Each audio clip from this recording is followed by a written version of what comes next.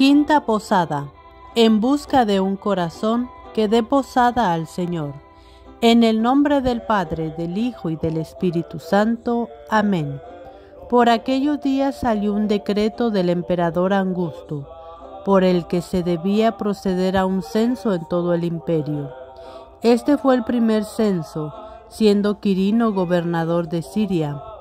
Todos pues empezaron a moverse para ser registrados cada uno en su ciudad natal. José también, que estaba en Galilea, en la ciudad de Nazaret, subió a Judea, a la ciudad de David, llamada Belén, porque era de la casa y de la familia de David. Allí se escribió con María, su esposa, que estaba embarazada.